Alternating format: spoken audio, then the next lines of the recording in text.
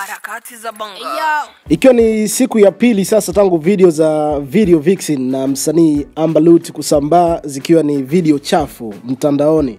Uh, hatimaye mkuu wa mkoa wa Dar es Salaam Paul Makonda ameweza kutoa tamko kwa kuandika kwenye Instagram yake na kuweka picha ya Amber Loot masaa mawili yaliyopita.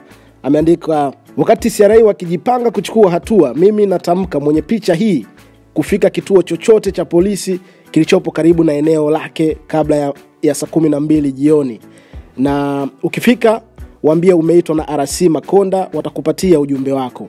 Yaani mwenye picha hii, kwa maana ya picha ambayo ameiposti, ameposti picha ya Ambaruti hapa kwenye account Instagram yake. Hii ni, ni baada ya Watanzania pia kuchukizwa na kitu ambacho Ambaruti amekifanya, of course video kusambaa ambazo hazina maadili kabisa ya Kitanzania na sio vitu ambavyo vinafaa kabisa kwenye jamii na mjadala mkubwa sana ulikuwa umezuka kwenye jamii, watu mbalimbali wakiongea kuhusiana na video zake, lakini hatimaye uh, mkuu wa mkoa wa Dar es Salaam Paul Makonda amechukua hatua kwa kumwambia aende katika kituo chochote cha polisi ambacho kipo karibu na eneo lake. Unazungumziaje kitu ambacho amekifanya Ambaruti? Acha komenti yako hapo, pia usisahau kusubscribe kwenye channel yetu kwa habari nyingine na matukio mbalimbali kutokea hapa hapa Tanzania. harakati za bongo